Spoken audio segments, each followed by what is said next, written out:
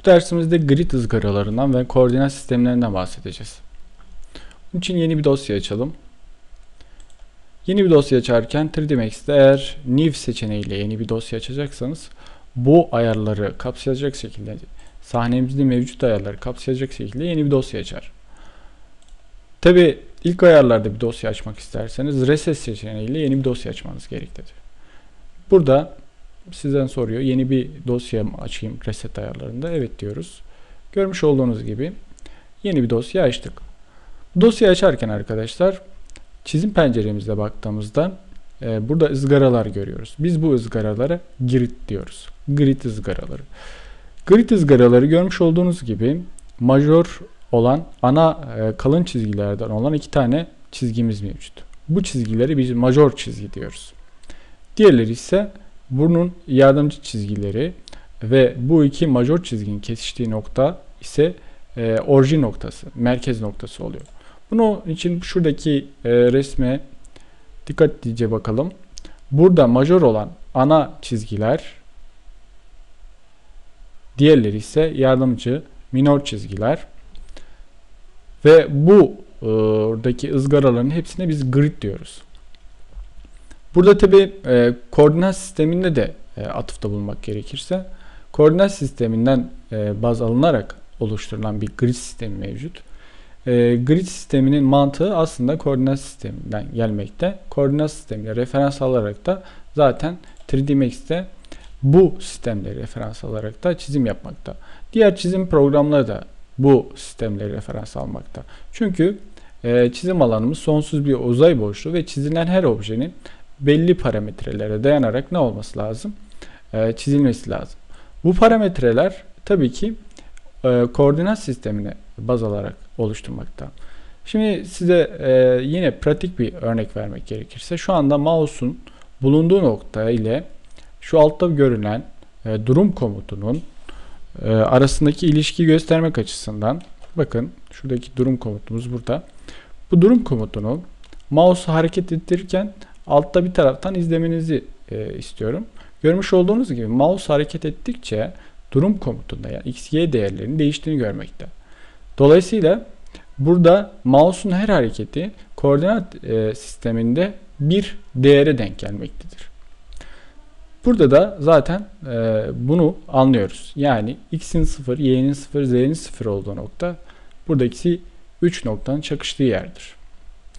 3D Max'te işte bu noktaya biz ne diyoruz? Pivot noktası, merkez noktası diyoruz. Tabi e, buradaki grid sistemini anlamak açısından şuradaki main barın üstüne sağ tıklamak suretiyle, snap'ın üzerine sağ tıklamak suretiyle home grid'e e, gelelim. Home grid'de arkadaşlar grid spacing 25.4 santim. E, bunu e, ilginç bir değer. Niye ilginç? Çünkü biz hatırlarsanız e, 3D Max'in ilk ayarları inçten ne yaptık? Santime çevirdik. Bir e, incin 25 nokta e, 22.54 santime denk geldiğini düşünürseniz bu değer ne oluyor? Buradan geldiğini anlıyoruz. Tabi biz, biz bu değeri değiştirebiliriz. Yine e, burada 10 olarak gördüğünüz değer buradaki e, ana ızgara ile diğer yardımcı e, ikincil ızgara arasındaki ızgaraların sayısı. Sayarsanız buranın 10 tane olduğunu görürsünüz. Buradaki 10 değeri onu gösteriyor. Perspektifteki ızgaraların sayısı da görmüş olduğunuz gibi ana e, major ızgaraların yanında 7 tane olduğunu görüyorsunuz. Bu da onu gösteriyor. Buradaki değerleri değiştirerek ne yapabilirsiniz? E, bu sayıları arttırabilirsiniz. Yine e, buradaki mantığı anlamanız açısından snap etkin olduktan sonra snap'ı şuradaki grid points etkini yaptıktan sonra bir tane box çizelim. Bakın box çizdiğim anda şu anda aktif etmedik. Pardon. Tekrardan snap'ı aktif edelim. Şurada iki noktayı baz aldım. Şimdi modifiye gelelim. Bakın ölçüyü görüyorsunuz.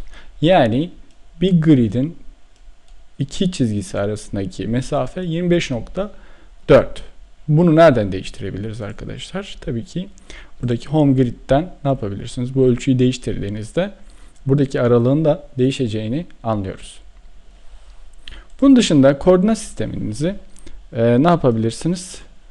E, iyileştirmeler yapabilirsiniz. Örneğin objenin koordinat sistemini değiştirebilirsiniz. Veyahut da e, bakın Effect Pivot Only diye tıkladığınızda hiyerarşiye gelip burada şu anda Create bölümündeyiz. Create bölümünden hiyerarşiye gelip Pivot'a geldiğimde Effect Pivot Only'ye tıkladığımda görmüş olduğunuz gibi perspektif penceremde ve diğer pencerelerde e, şu andaki bir e, UCS ikonumun yani koordinat sistemini simgeleyen ikonun çıktığını görüyoruz. Bu ikon nerede? Objenin merkez noktasında. Bu ne oluyor? Objenin e, kendi ağırlık noktasının olduğunu gösteriyor. 3D Max'te çizdiği her e, objeye bir tane ağırlık noktası atıyor.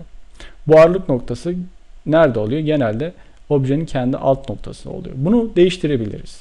Bunu ileriki derslerimizde rotate işte e, ve move gibi çeşitli araçları, transformers araçlarını kullanırken, kopyalama yaparken, diğer benzer işlemleri yaparken ne yapacağız? Detaylı bir şekilde kullanacağız. Koordinat sistemini daha anlamanız açısından şuradaki soldaki tripod simgesine dikkatinizi çekerim. Burada bakın X, Y ve Z doğrultularını e, yönlerini görüyorsunuz. Bu yönler aynı zamanda objeye değer verdiğimiz objeye e, üzerinde modifi işlemi uygularken tekrar burayı gösterelim ve buraya dikkatinizi çekeyim. Buradaki değerlere bir göz atmanızı istiyorum. Yani x değeri bakın iki tane ızgara arasındaki mesafeydi. Y değeri yine iki ızgara arasındaki mesafe. Z değeri düşey değer.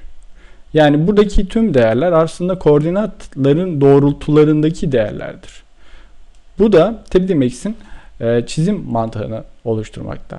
Yine benzer olarak diğer çizim programlarda bu mantığı kullanmaktadır.